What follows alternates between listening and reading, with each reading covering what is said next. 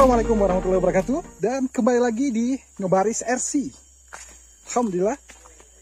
Semoga Anda dalam lindungan Allah semua diberikan kesehatan, uh, rezeki dan masih diberikan uh, umur untuk menjalani hari-hari berikutnya. Kita lagi di hutan lindung Sungai Wain. Kemarin ada yang bertanya, kira-kira bagusan mana untuk pemetaan antara DJI Phantom 3 dan DJI Phantom 4 ya.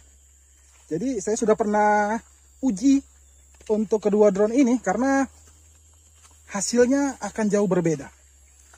Kenapa saya bilang seperti itu?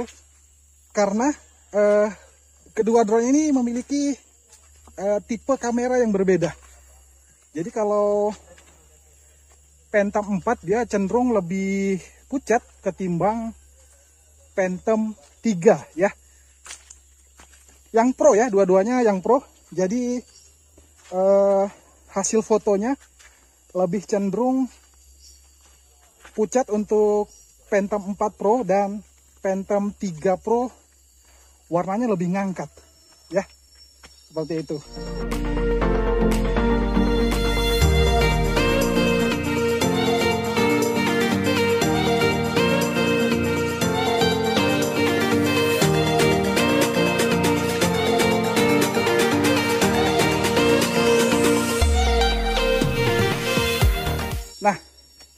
Ini dia video eh, hasil pemprosesan foto untuk dijadikan ortofoto antara Phantom 3 dan Phantom 4. Ini dia. Nah, ini dia hasil processing yang kita mapping kemarin. Jadi kita bagi dua ya sini.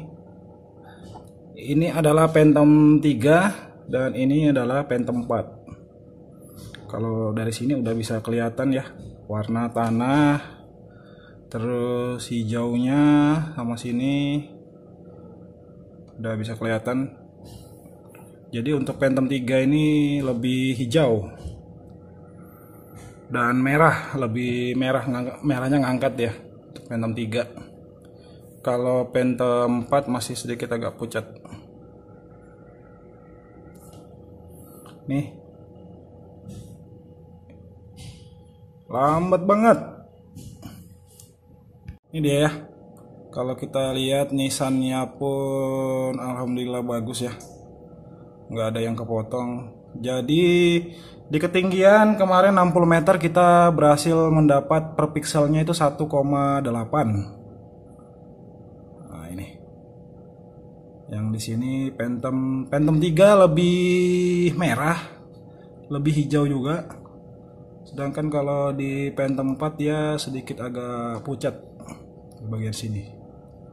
Ya tanahnya dan pohonnya itu sedikit lebih pucat. Warna hijaunya nggak ngangkat.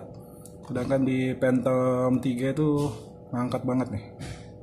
Oke sip.